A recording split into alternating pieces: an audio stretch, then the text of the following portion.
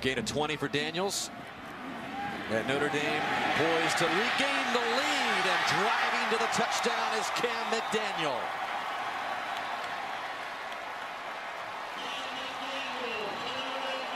Well, Nick Martin, who the, the younger brother, watch Nick get out here and hook the nose tackle. Does a nice job, gets on that side of him, hooks him, and now look at the blocking by Koyack downfield.